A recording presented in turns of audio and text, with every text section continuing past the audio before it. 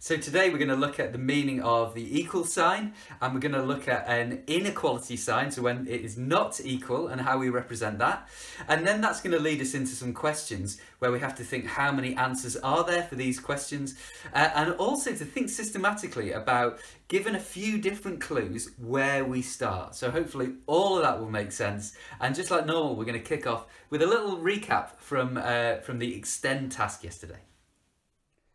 So we start again today looking back at the extend task um, from yesterday. Um, and I want to see if we can look at an efficient strategy here. So you were asked, design a sequence that matches these rules. The first term in your sequence must be between 50 and 60. To find the next term in your sequence, each time the same number is subtracted. And minus 11 is the third negative number in this sequence write the first three terms of the sequence. Now, what I wouldn't do is start with a number between 50 and 60 and then kind of do trial and error and count backwards. I would actually start with, with the minus 11 and think, what must the steps be? So if the third negative number is minus 11, I'd have to think, what could we be going up in steps of or, or down in steps of to get there, if you like. So I'm, I'm working backwards. Now, let's say it was, it was, I was going down in steps of three. Um, then, of course, the number, the second negative number we would be saying would be minus 8. And then it would, after the number before in that sequence, would be minus 5. And then it would be uh, minus 2. And then we'd have our first positive number, which would be 1. Now, actually, because this doesn't work, and why not? Because there, in this sequence, there's four negative numbers. So actually, I know the jumps must be, um, the, the, the amount that I'm subtracting must be more than 3 for that to be possible. So I'm going to try another another alternative that ends in minus 11. This time, uh, going down in steps of 4, we'd go minus 7 to minus 11. And then it would be, uh, before that in that sequence, it would be minus 3. And then before that, it'd be 1. So we'd be going 1, negative 3, negative 7, 7, negative 11. So those steps will work. Now we'll come in a moment to how far up we'll have to go. So the first three terms are between 50 and 60. But let's see all the ways that this can be done. So that was going down in steps of 4. Let's try going down in steps of, when, we, when we're falling in steps of 5. So it would be minus 6 and then minus 1 and 4. Yep, so, so that one's going to work as well. And what about jumps of 6? Well, minus 11 so that would have to be minus 5, and then actually we'd, we'd have a 1. 1 minus 5 minus 11 is going down in steps of 6. But actually that makes minus 11 the second negative number in the sequence. So, so the amount that we're subtracting must be either 4 or 5. Um, so what I would think about here is, well, let's see how we can get a number between 50 and 60 in, in this sequence. Um, so it might be that what we do, for example, is we know, well, I know that 41 will have to be in the sequence, and there I've got um, I've got 10 more lots of uh, 4 that I've added on. Um, and so maybe to find another one in the sequence, let, let's say I could add in another, let, us say we add in another 4 lots of 4. Um, so that is 16. So that would be, um, let's say 57. So if we add a, a 57, then the first term in your sequence is between 50 and 60. So there's an example it could be. So the sequence could go 57, 53, 49, say. Um, or equally, the sequence could start with, with 53. What, what about here? Well, if 4 is in the sequence, if I add 10 lots of 5, 10 jumps of 5 in this sequence, that would get me up to 54. Okay, so um, it could be, let's say for example, we could go for 59, 54, 49, and then eventually in that sequence, the third negative number will be minus 11. So the main focus on today's video is actually um, more than, less than, and equals, and, and looking at number sentences and looking at using the, uh, the signs for that as well. And that will lead into the problem solving task that we're doing. So we'll practice that skill in that problem solving task. So we first build the understanding and then we're going to kind of deepen in that way. Um, so if we have a look at this image, this image shows and can be described by the number sentence 3 plus 2 equals 4 plus 1 because they're the same. 3 plus 2 and 4 plus 1 there are both equal to 5. Um, whereas uh, this example here, I could write this as a number sentence as 3 plus 3 is less than 8. 8 is more than 3 plus 3 because we can see that it, that it indeed is. Um, so have a look at this example here. So which answer, 23 plus 16 equals what number subtract 6? Um, so what's the missing number? Now, you might be able to find the answer, but also, could you explain the mistakes um, for the other incorrect possible answers? Pause the video and have a go at that. Okay, and then when you're ready, let's have a look. So 23 plus 16. So this side here is 39. So I've got to think for this side here, which number subtract 6 is 39? And it is actually 45. So 45 subtract 6 makes this side 39. 23 plus 16 is 39. Um, so that's the correct answer. Now, what about these mistakes? Well, the first one is I could just ignore this minus 6 and think, well, I'm just going to do 23 plus 16 is 39 and put the 39 in here. So that's the mistake there. Well, the mistake here is a, equally is, is very understandable. I could just think, I'll do 39, 23 add 16 is 39, and then subtract the 6 is 33. But it doesn't make both sides the same. Um, if I had 33 subtract 6, then this side would be much less than this side here. At the moment, they are equal, so I've got the right sign there. Now, here's another challenge for you. Um, but and this is one of my favourites. I have to say, I, I often say that, but I do really love this one. Um, so the missing number is a positive whole number in here.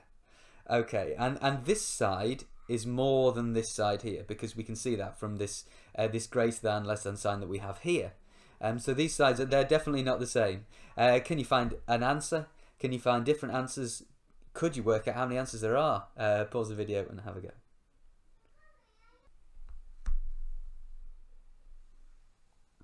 And then when you're ready, let's have a look. So it could be 24 divided by 1, because that would be 24 on, on, this side here, and that's definitely more than 4. 24 divided by 2, that's 12, that's more than 4. 24 divided by 3 is more than 4, it's 8. 24 divided by 4 is as well. Now 24 divided by 5 is also, uh, because how many 5s in 24? There's 4 and 4 fifths. Um, it can't be 24 divided by 6 though, because that would equal to 4 and so then this would be the wrong sign.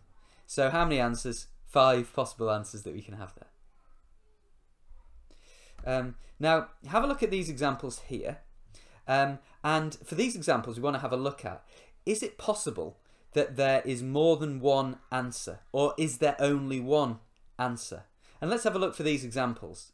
Um, so the first one, there's only one answer. It has to be 21.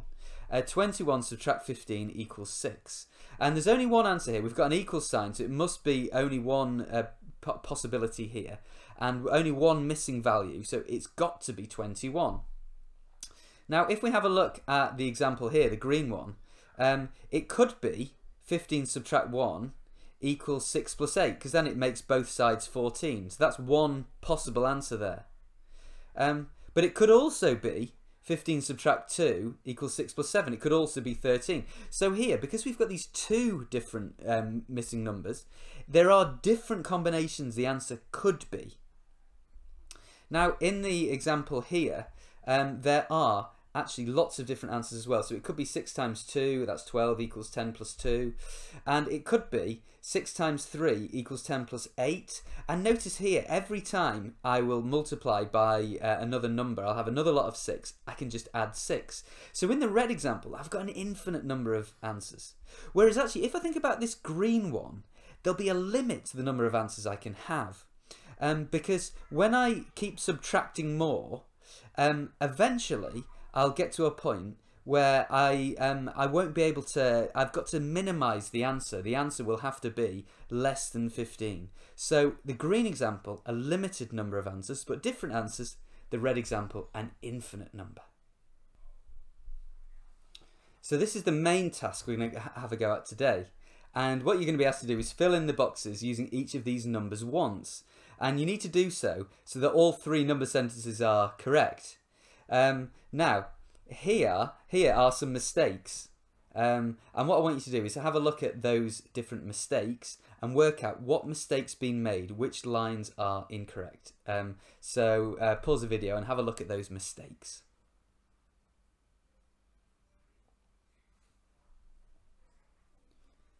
Okay, and let's have a look. So 10 subtract 8 is 2. Um, 8 subtract 7 is 1. So actually there's a mistake here because 1 is less than 2. Um, and here we've got 20 is more than 4 times 3. So that part was, was correct. And here I've got 5 plus 4 is 9. 15 subtract 6 is 9. So that part is correct. So we've got a mistake there on the, on the top line here. And let's have a look at how this has also been done incorrectly. So 10 subtract 8 is 2, as we said before. 8 subtract 4 is 4, so that part's correct there. And on this part here, we've got 6 times 3 equals 18, and 18 is less than 20. So yeah, that's that's good there. Um, and then we've got 6 plus 4 equals 15 subtract 5. So yeah, that, that looks good. Um, but what mistake's been made there? Well, actually, you could only use each digit once. But look here, we've got 6 used twice. We didn't manage in this example to use the 7. So that's the mistake that's been made in mistake 2. Right, now it's time for your go at this task. So you can see it's complex, you've got to use each of those digits once. Um, pause the video and get right stuck into your task. So let's have a look at the thought process that lies behind positioning those numbers without it just being a kind of trial and error until we find an answer. Um, the first thing I would think is, is look at there's some numbers that can only go in certain places. There's some that can go in lots of places, but there's some that can only go in some places. One of them is the 8. I'd often look at either the smallest or the largest number. So where could the 8 go here? Could be a question that I, that I could ask. Um, so for example, the 8 can't go in this middle line here. It is not possible for it, for it to go there. And actually that is the only place that the 8 can go. Um, because if I put the 8 here, uh, 8, 8 plus 4 is uh, is 12 and then I haven't got a 3 to subtract um, and then um, 15 subtract 8 is uh, is 7 um, and then I haven't got a 3 to add to this side. So actually this is the only place that the 8 can go. And it can't go here because this side has to be more. So it's got to be there. Um, now similarly I could look now at where is the only place that the 7 can go. Um, now this is 2 I can't put it here um, because 8 subtract 7, um, that, that would make this side 1. So the 7 can't go there. Uh, the 7 also can't go there. Now the 7 could actually go at either place in the bottom box. It could, because it could be 7 plus 4 is the same as 15 subtract 4, but both sides are 11. And it could actually go the other way around as well. Um, so it could be 15 subtract 7 is the same as 4 plus 4. Um, now, the 6 actually then must go in the middle line space um, because um, then we've got the 5 that can go in this top box here. So that's the combination that then works. Um, so the top number sentence is now correct. I couldn't position the 6 here because 8 plus 6 equals to 2, then that one wouldn't be correct. Uh, so there we go. That uncovers solution 1. And solution 2 uh, there we go. That's with the 7 and the 4 the other way around. If you've got room for some more thinking, here's your task. Click on the blue link underneath the video to find it. So for this extend task, where again we're only using positive whole numbers, I need to order the number sentences by the number of possible answers from the fewest to the most. So for each number sentence, work out how many possible answers are there, uh, and then order them from the um, from the number sentence with the fewest possible answers to the number sentence with the most. Uh, good luck with that. Answers at the bottom. Uh, I'm going to be back again tomorrow. Looking forward to it.